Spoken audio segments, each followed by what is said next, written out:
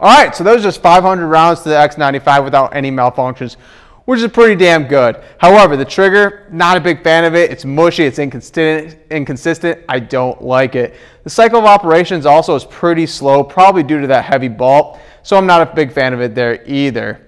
However, if you want to get a nice proper cheek weld in there, well, if you've ever been jacked in the jaw a couple times, that's kind of how it feels like after getting 400, 500 rounds to this gun. So you might need to get some dental work done.